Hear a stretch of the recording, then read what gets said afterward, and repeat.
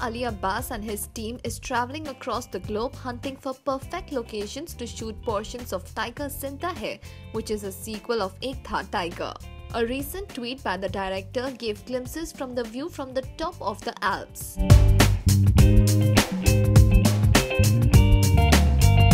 It seems that he has set the standards really high. The current temperature is minus 25 degrees and the shooting will commence in February. Now that's some chill to battle.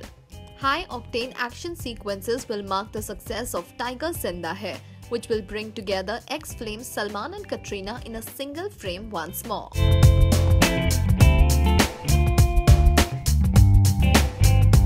There are also speculations that Salman's current flame will accompany him on his international shoots. Well, with two lovely ladies by his side, we are sure the Sultan will have all the energy to battle the cold. Don't you think so? Let us know in the comments section and keep watching this space for more news from Bollywood.